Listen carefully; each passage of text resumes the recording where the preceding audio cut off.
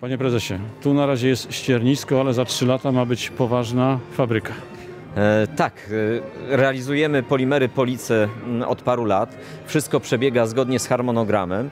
E, Dzisiaj szczególny dzień, bo podpisujemy umowę z generalnym wykonawcą, czyli rozpoczynamy już fazę inwestycyjną.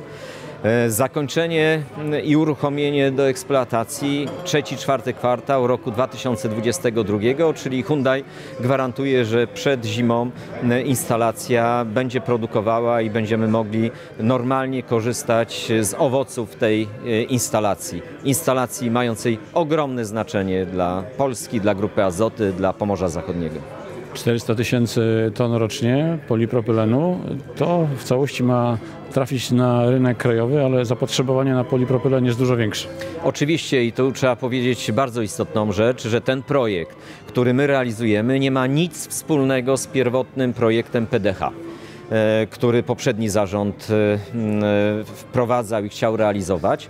My wydłużyliśmy cały łańcuch, kończymy produkcję na skomplikowanym polipropylenie, czyli z jednej strony będziemy z propanu wytwarzali propan, propylen i e, z propylenu e, polipropylen, e, który będzie tym, tą formułą bardzo zaawansowaną, bo ta technologia amerykańska, którą kupiliśmy, będzie umożliwiała wytwarzanie takich rodzajów polipropylenu, który jest bardzo skomplikowany, pożądany na rynku i generuje bardzo, bardzo wysokie marże. Skomplikowana produkcja wymaga też skomplikowanej kadry. Podpisaliście umowę z Zachodniopomorskim Uniwersytetem Technologicznym, który ową kadrę ma Wam przygotować.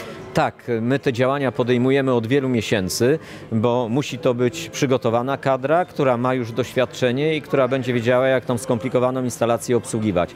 Także e, dedykowane kierunki studiów, e, staże, e, też umiejscawiamy m, tych przyszłych pracowników w naszej instalacji Nitro, gdzie jest podobny proces, e, podobne e, problemy technologiczne. E, Kadra będzie w 100% przygotowana, aby od pierwszego dnia na odpowiednim poziomie odpowiadać za tą instalację.